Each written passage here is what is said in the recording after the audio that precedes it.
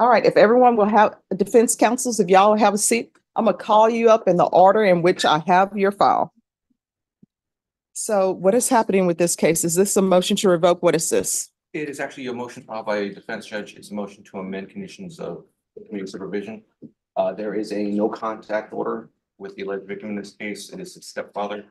Uh, he was sentenced to state ISF. He did complete that. Uh, upon release, he had nowhere else to go except home.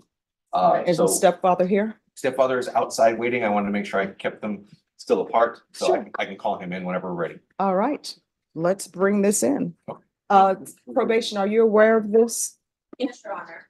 All right. Court is calling two thousand twenty-two CR five eight five nine, State of Texas versus Thomas Nathaniel Henson. Can I have parties announced for the record for the state? Marjorie Hillman for the state. Defense? John Bettis for defense. And are you Thomas Henson? Yes, ma'am. All right, uh, s- And this is Defense, Mr. you're- Phillips. defense, you're requesting what? Uh, I'm requesting a change from a no contact order to a no harmful or injurious contact on. His name, I love his, Video. Emilio, uh, Torres. Forgive me, Judge. I- All right, no Every time I problem. read it, I mispronounce it. I- All right, call your witness, counsel. Uh, I call Mr. Torres.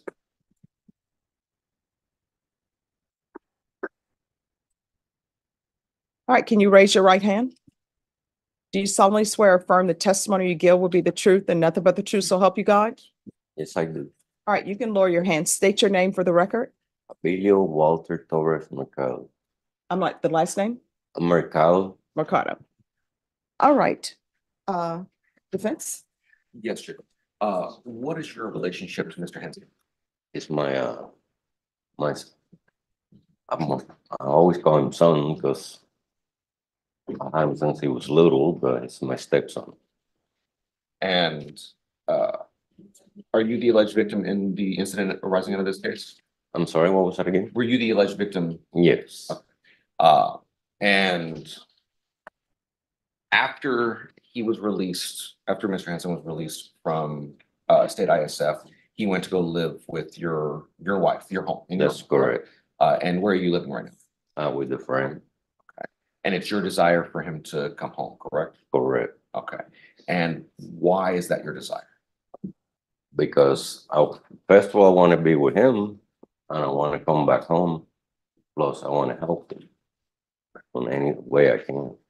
Okay. Does he have anywhere else to go if you weren't allowed to stay at your home? No, And the incident in question that caused all of this, uh, was that drug related? yes, And of course, you understand, he just left rehab, so the hope is to keep him off of those drugs. correct. Uh, and of course, Judge, I'd open it up to any questions you may have for him, because I assume you have many. Uh, Sometimes I, I have questions that people didn't ask, so do you have questions? Just to clarify, um, so I, I believe, sir, that you had said that you wanted him to be able to come home. Yes, But He is actually in your home and you want to come back. to him. Is that right? correct. Okay. All, all of us be together. Let's clarify that. And do you feel like you would feel safe if you moved back into the home at this point? Yes, ma'am. No further questions. All right, so who all lives in the home? Uh, right now it's just my son and my wife. All right, because I have in my notes that he was supposed to stay with his grandparents. Why he, why is he not living with his grandparents? He, he, they don't want him to go over there. Why not? I guess he may be, Well, his grandmother, she's, she's sick. She has cancer. So it's kind of hard for her to handle everything. all right, And it's one of the other reasons why I want to bring him to the house. I mean, he's there, I'm not, but all of us to be together again. okay. It's just, I, I was hired and this motion was filed prior to his release from, uh, state ISF. Uh, so the goal was to try to get that knocked out, but we couldn't arrange the Zoom to be done while he was in ISF, so we had to wait until afterwards. It's the first date we can get set. All right. All right, any other questions? And from the state. Nothing from the fence. All right, thank you so much for coming in. Thank you.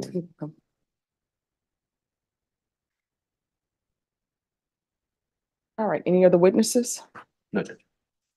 All right, could you raise your right hand for me, please? Do you solemnly swear or affirm the testimony you give will be the truth and nothing but the truth, so help you God? Yes, Your Honor. All right, you can lower your hand, state your name for the record. Thomas Henson. All right, what have you learned from this? Um, I've learned from the program so far that I know it's just better to be more thankful for everything. Of course, it's the longest time I've ever been away from home or like in a sanction at all. So it's de- definitely taught me to stay sober and just be okay with it. And, and I want to be back with my family. All right, how long have you been uh back from ISF? Probably like going on two weeks now. Just about two weeks, Judge. All right, do you have employment yet or no? Yes, I, I do have a job. Um, I'm, I just struggling to get my ID at the DMV. Like the next available appointment was next month, but we're checking every morning at seven thirty for walk-ins. And, and they are holding that job for him. But they're, they're holding on. I have a, uh, like a note from them. Okay. That's guaranteed employment. All right, and if you're drug tested today, what are the results going to be? I'll be clean. All right. I like the way you said that. All right. I will make a decision after I get a UA today. Are we able to do a UA? All right, we're going to do a UA today, okay? Yes, ma'am. Do you need any water or anything? All right. Oh, that's a good sign. Thank you, Judge. All right, just have a seat and I'll take this up. All right, so what were the results? No test done, Judge. Uh, my client admitted to me and he admitted to probation. Uh, if tested today, he would actually come up, uh, dirty For what? marijuana. Why are you being dishonest with the court? I got, almost- I got scared, Your Honor. I know it's not right. So he hasn't been doing well. No, Judge. So I don't think he should be staying with his. I don't think he, he should be staying with the complainant. Give me a, a negative UA and I'll consider it. Your- So when's the last time you used? It was, it was one time and it was yesterday. It was last night I was going to pick up food and one of my old boys saw that I was out and wanted to say hi. And I, I, I did. I chilled with them for a little bit and I fell into what I shouldn't have. I So thought it was, I you thought it this. was harmless because I was thinking, Let me ask you this. Is that Buddy? Is that your friend? he's, he's, a- he's an old acquaintance. And then I should have, I, sh- I never shouldn't have reached out to him, but he reached out to me. And then I just, I felt like I wanted attention, I guess, you know what I mean? But is he your friend? No. Because let me e- explain something to you. Friends, if they are your true friend, they will not do anything that would jeopardize you.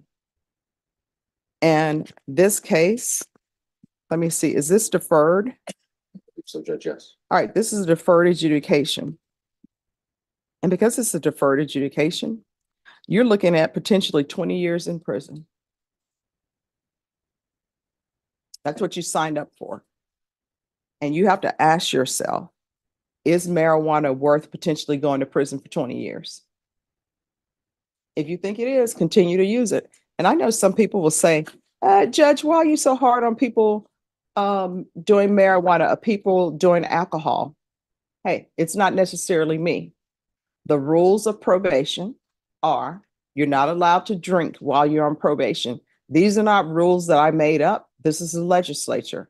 The rules are you're not allowed to use marijuana or illegal substances while you're on probation. These are not rules I made up. This is the legislature.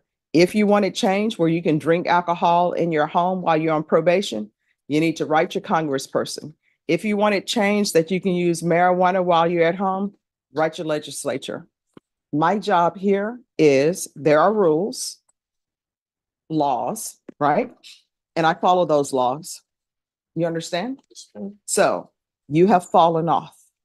You're not doing well because you came straight from ISF to back to doing what you're doing. So I'm not going to agree for him to go live with his uh, stepfather because he's not in the right frame of his mind. And if you listen to the testimony of your stepfather, all of this started because of drugs. And guess what? We're right back here with you and drugs, and something's about to start. You understand? Yes, Your Honor. Uh, probation, Yes, Judge. he needs to do ninety sober meetings in ninety days. And you need to start getting your life together. You understand? Yes, Your Honor. Judge, we'll get you a, U- uh, a, a negative clean UA and come back. All right, and uh probation, make sure he's tested for levels. Yes. And while I have you here, are you saying the only thing you're gonna test positive for is marijuana? Yes, Your Honor. All right, so probation, I still want a UA. We're still gonna u- do a UA. It's only gonna be positive for marijuana. That's what you're telling me. Just marijuana. All right. All right.